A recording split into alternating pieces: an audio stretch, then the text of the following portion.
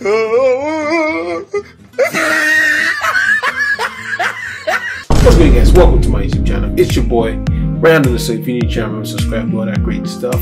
So, I think today, by 12.15 p.m., CW announced development of an action series. Oh wow. The Powerpuff Girls.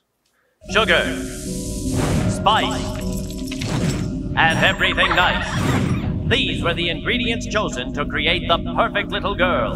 But Professor Utonium accidentally added an extra ingredient to the concoction Chemical X. Okay. They want to do a live action.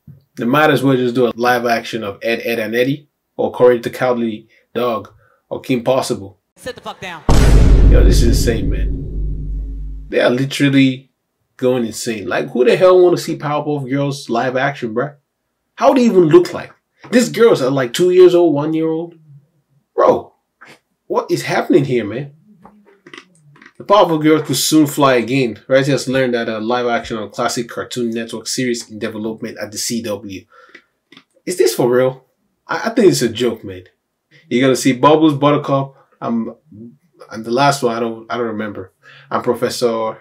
Um, yeah, I don't remember his name. But yeah, you're gonna see them. And we're gonna have Mojo Jojo. Well, I am Mojo Jojo. With big brains, monkey head. We're gonna see that in live action. That's it for this video, y'all. Take it easy. Deuces.